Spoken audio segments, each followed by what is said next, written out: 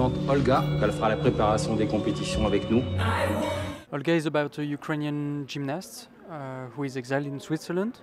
And as she prepared for the European Championship with the Swiss team, uh, the revolution of Euromaidan erupts in Kiev and involves everyone she knows.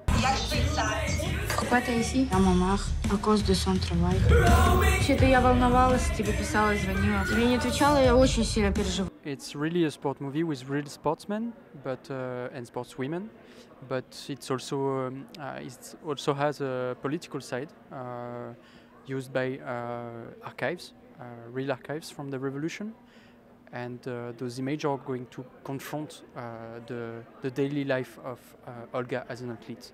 Алло, Ты где? Оленька, я на Майдане сейчас, я не могу говорить. Мам, возвращайся домой, слышишь? So just after my school, I, I did a documentary about an orchestra of young people.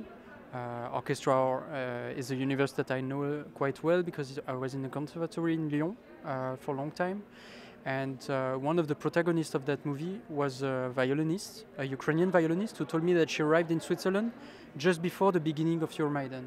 And the way she told me this story, the way the, she told me how the, the images entered her life and until her own practice of violin, uh, really touched me at that time. And uh, so I, I was so interested by this story that I had to to meet a lot of people in Ukraine directly and uh, and and from the also the gymnastic side um, to be able to write the movie uh, as correct as possible.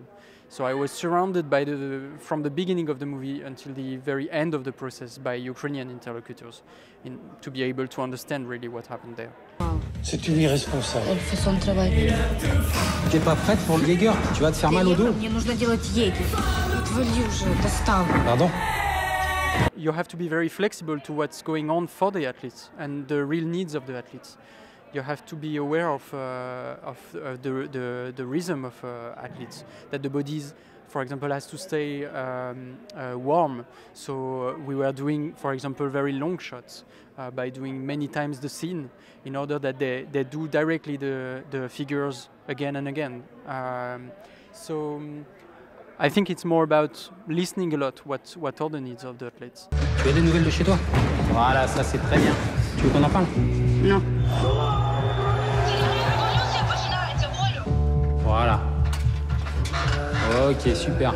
So basically, I went to the Olympic Center in Kiev and in, uh, and in Switzerland too.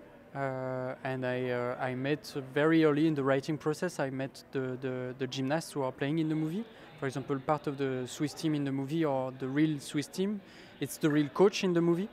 It's also the, their place. It's the gym where they where they train. Uh, so um, yeah, I think that um, no actress can have the experience of a gymnast, and so they they are non-professional actors, but they are actually professional athletes. So it was more convenient to, to work with them.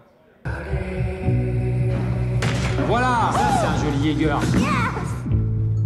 Что случилось? Смотри, мама. Что, мама? It's my very first time in USA, uh, so I'm very impressed by everything, and I'm very happy to discover everything.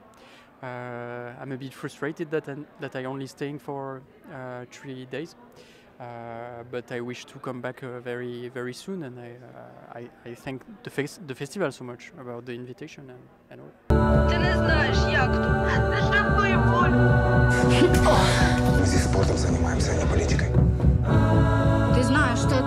быть с вами. Of course, there is a lot of uh, filmmakers that inspires me so much. Uh, there is Gus Van Sant, there is Ke- Kelly Richards, there is uh, uh, even I don't know Cohen Brothers or Paul Thomas Anderson or people who really uh, are part of my uh, of my imagination since I'm a teenager. Tu penses vraiment que c'est la meilleure solution pour aider ton pays Rain from the